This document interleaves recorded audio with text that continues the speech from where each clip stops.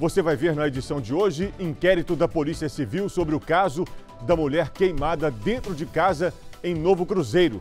Delegada que preside a investigação fala sobre a crueldade do homem ao tramar a morte da ex. No Vale do Aço, o pai e a avó da menina de 4 anos falam do drama vivido e da coragem dela em contar sobre os abusos para a diretora da creche. Em Coroaci, um caso parecido foi registrado pela PM. O estupro de vulnerável envolve uma adolescente de 12 anos, vítima também da exposição ao uso de entorpecentes.